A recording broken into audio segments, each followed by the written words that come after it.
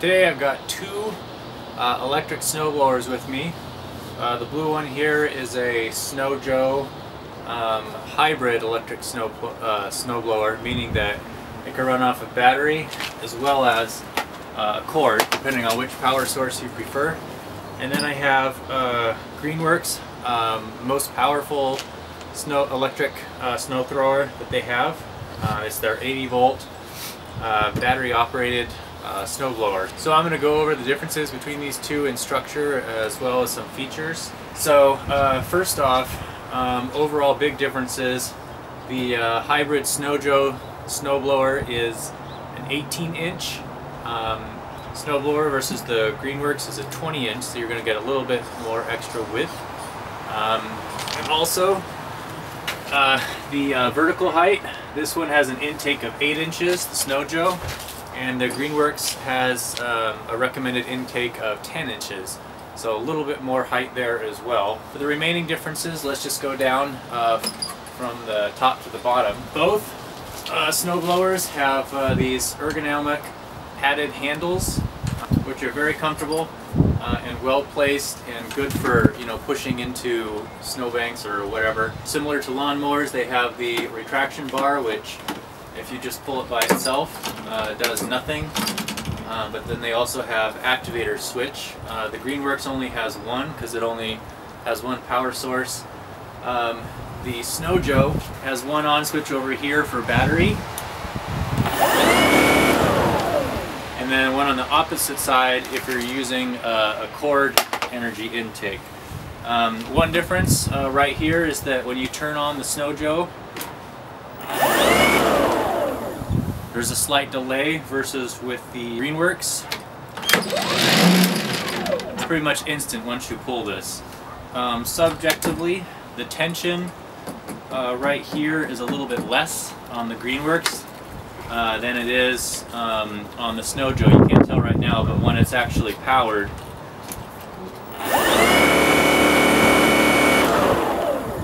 the tension right here is a little bit stronger. Um, so there's a potential there for a little bit more hand fatigue, uh, but we'll see in later tests. Um, another difference uh, is the method in which you turn the chute uh, for the Greenworks. Uh, obviously this is manual and it's done by a knob here. So it's pretty reliable, but it's also a little imprecise because there's a lot of wiggle room. If you only want a slight adjustment, it's really easy to over adjust it. Um, but it's very fast. If you want to go from that way to the other way, it's very quick. Now on the uh, Snow Joe, it's an electric switch here, which is very, very convenient. But it's also much slower. So speed versus uh, greater control. Also, um, the uh, since we're on that, I'll skip down to here. Adjustment for the chute, again with the Greenworks, is manual and goes uh, quite low, all the way back to here. And this is a sort of clasp spring mechanism, which if you want it to stay at the most vertical, um, if you're being pretty aggressive or maybe there's uneven pavement, in other words it gets kind of bumpy, this can slowly uh, go down, so you might have to keep adjusting that. The Snow Joe has these tighteners and will go from a maximum of essentially vertical down to about there. So we'll see in later real-world tests how much difference that actually makes. Both of these uh, snowblowers handlebars, they come out at the same angle. Uh, interestingly, they're weighted slightly differently. So the Greenworks, can almost balance it about there. But the Snow Joe, it's a little heavier towards the front. So if I do that, I mean, it just comes right back. So it's a little bit more um, forward rotational uh, force on the handle there. Don't know if that makes a big difference or not. We'll see with user tests. Uh, they both break uh, here uh, for storage. They do it a little bit differently. This one has ten tension clasps and um, it's not meant to adjust the angle at all. It's just to fold it down for storage. versus the Snow Joe. These two clasps here come undone and you can you can either fold it down for storage or you can adjust it to a steeper angle, say if you're taller or doing a different kind of uh, um, kind of tack. There we go. Now the Snow Joe can run on um, two kinds of power. It can either be plugged in via cord, um, and to manage your cord uh, a little bit better, Snow Joe has included this uh, little cord hook over here. I usually don't use uh, corded. Um, I used to have one and then I switched to battery only. And so for the battery, the battery is housed in this uh, um, Snap 2 encasing. Uh, the battery is also locked in there uh, with the latch. And all you do is you pull the latch right there and out comes the battery. Now, similarly, the Greenworks um, has its battery uh, encased here. Uh, this is not, this doesn't latch, but it keeps snow out just fine. Um, and then the battery is latched in with this little lever. And I get pushed there, comes out like that. So comparing the two batteries, uh, they're about the same uh, weight, I would say. not exactly sure, but Greenworks is a little bit larger, larger obviously. Um, it's an 80 volt battery. Snow Joe is a 40 volt battery, um, but the included 40 volt uh, battery is uh, 4 amp hours um, versus the 2 amp hour battery of Greenworks. Uh, so this one does actually last longer. Um, Greenworks does have a 4 amp hour battery, but it's longer, so it doesn't fit in the, into the slot. Now, speaking of the slots, um, the Greenworks is kind of a reach to get down there. So whenever I'm changing the battery or whatever, um, you know, I usually have to come over to the side, push it in, and put it down. One of the cool things about Snow Joes is that because it's right here, you know, I can still stay behind here, uh, push the battery in, sure it's already clicked in, it's just it's just a lot easier to manage it right there. Um, both batteries uh, have status indicators. So you just push this button and it tells you how much juice is left. And Greenworks battery is similar, has one right here. I've only got two. I think I used this battery a little bit the other day. So now in terms of uh, charging, they both come with provided chargers. Um, if you get the battery with the snowblower.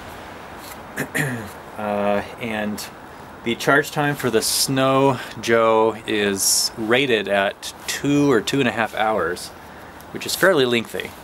Uh, the Greenworks battery um, charges in about uh, 25 to 30 minutes. It's actually very quick. So um, even though this battery might last longer, um, the uh, Greenworks battery charges very rapidly and so even if it needs to charge uh, it doesn't take that long and you can uh, finish your job if it didn't last. Um, but I find that the Greenworks battery um, is lasts long enough for my driveway. I think I've I can use it for probably 40 minutes in light use and maybe 25 to 30 minutes of heavy use and that's usually enough to do my driveway and sidewalk um, test to come on this one but anyway all that to say different battery st uh, strategies and you can always buy an extra battery if you don't even want to worry about um, you know having to wait for something to recharge both of these have LED lights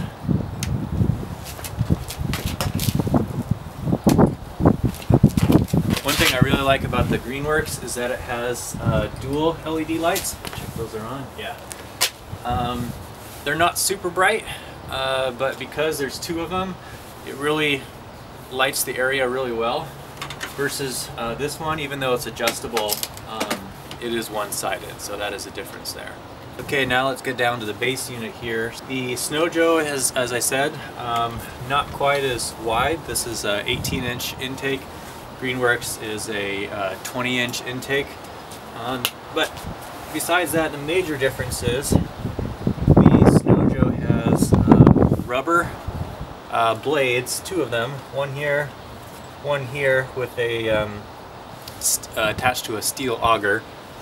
Um, whereas the Greenworks has this nice bright green uh, double double blade, but entirely plastic uh, impeller blade.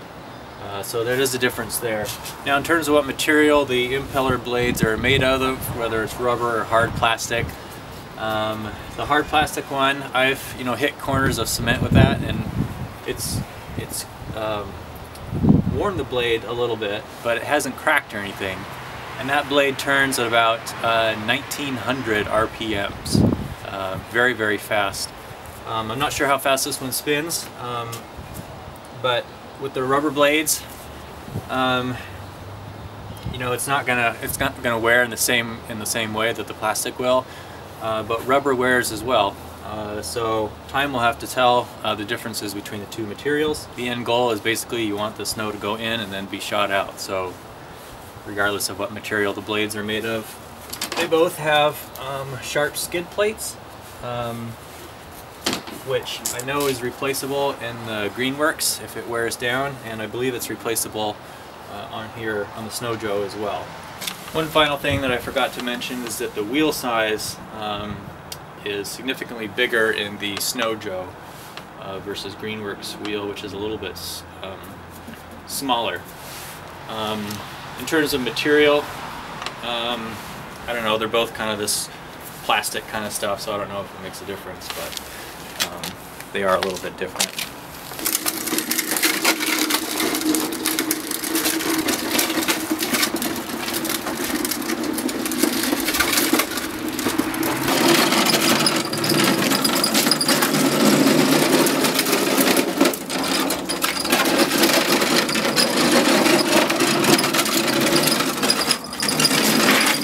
That pretty much covers the structural differences between these snow blowers. I don't know which one I'm going to prefer. I've been using the Greenworks for about a year. Uh, this one is uh, new to my garage. I'm excited to test it out and uh, see how they compare.